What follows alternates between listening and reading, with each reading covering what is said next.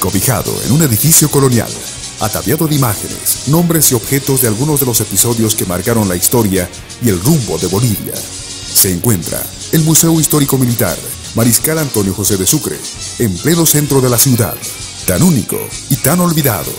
En sus ambientes se encuentran objetos y reseñas que nos ayudan a repasar la guerra del Pacífico, del Chaco, del Acre, las guerrillas y la creación y fortalecimiento de las Fuerzas Armadas y el Ejército. Tiene objetos especiales, tesoros de la historia, por así decirlo, la de la Guerra del Pacífico y la demanda marítima.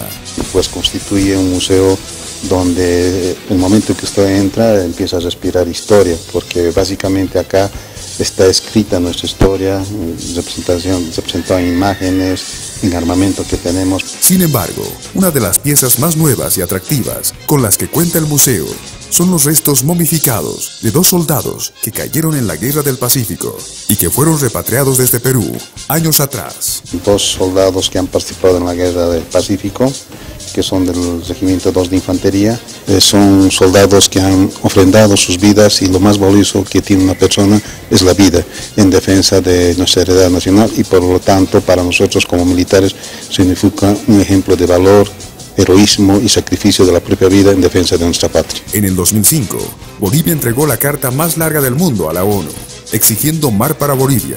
Fue presentada un 24 de marzo de 2005.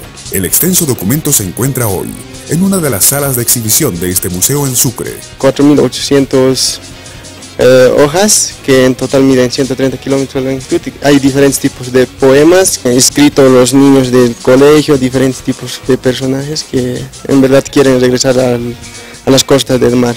También recibió en resguardo la bandera de reivindicación marítima, que fue protagonista del banderazo, que fue extendida a lo largo de la carretera que une los departamentos de La Paz y Oruro en el mes de marzo. Mide eh, casi aproximadamente 200 kilómetros de longitud. Es el mar azul, o sea, representa el mar azul de Bolivia. El Ministerio de Culturas y las Fuerzas Armadas de Bolivia preparan un proyecto para garantizar el tratamiento permanente de este patrimonio histórico, como es el Museo Militar en Sucre.